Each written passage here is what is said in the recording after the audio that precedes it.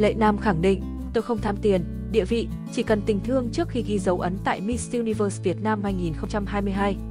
Mới đây, đêm chung kết Hoa hậu Hoàn vũ Việt Nam 2022 đã trở thành tâm điểm chú ý của dư luận. Bên cạnh những cái tên bước lên ngôi vị cao nhất như Hoa hậu Ngọc Châu, Á hậu Một Thảo Nhi Lê, Á hậu Hai Thủy Tiên, dân mạng cũng đặc biệt để tâm đến Lệ Nam. Theo đó, Lệ Nam dừng chân ở top 16 khiến khán giả vô cùng tiếc nuối. Sau đêm chung kết, trả lời Sao Star, chị gái Nam em cho biết, tôi đã đoán được kết quả sau hôm phỏng vấn kín rồi. Tôi còn nghĩ mình không được vào top 16, vì tôi nói tôi là bisexual, người song tính, và đó là lý do tôi đã khóc trước thềm chung kết rất nhiều. Tôi thương cho cộng đồng LGBT. Chia sẻ của Lệ Nam đã trở thành chủ đề bàn tán trên nhiều diễn đàn. Nhiều người tỏ thái độ không hài lòng, thậm chí chỉ trích chị gái Nam em vì những suy nghĩ sai lệch này. Giữa bão dư luận, phát ngôn của Lệ Nam năm 2018 bất ngờ đã bị netizen đào lại. Cụ thể thời điểm còn quen người tình đồng giới Bảo Thi, Lệ Nam từng nhận về nhiều ý kiến trái chiều từ khán giả.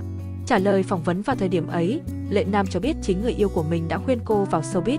Quả thật, tôi nhận ra từ khi có chút tên tuổi, cách nhìn, đối xử của nhiều người dành cho mình khác hẳn. Khi được hỏi liệu rằng có thay lòng đổi dạ sau khi nổi tiếng, Lệ Nam cho rằng cô không phải là người dễ thay lòng.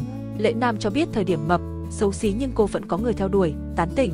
Chị gái Nam em cho rằng bản thân thay đổi nhiều kể từ khi quen người yêu đồng giới, được gia đình đối phương yêu thương hết mực.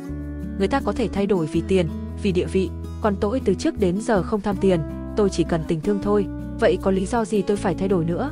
Lệ Nam khẳng định trong buổi phỏng vấn.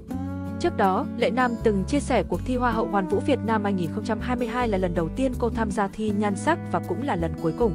Tức Lệ Nam sẽ không còn thi Hoa hậu Hoàn vũ Việt Nam. Tôi bước đi bằng con đường chính nghĩa, trở về trong trái tim yêu mến của tất cả mọi người. Đó là vương miện cao quý nhất mà tôi có được. Lệ Nam sẽ vẫn bước tiếp bước chân này trên sân khấu nhưng với những vai trò khác. Còn yêu thương hãy luôn bên em nha. Cho dù nhận phim có đóng vai phản diện cũng yêu luôn em nha. Còn bây giờ sẽ là những ngày tháng sống và yêu bản thân mình. Lệ Nam chia sẻ tâm trạng sau chung kết Hoa hậu Hoàn vũ Việt Nam 2022.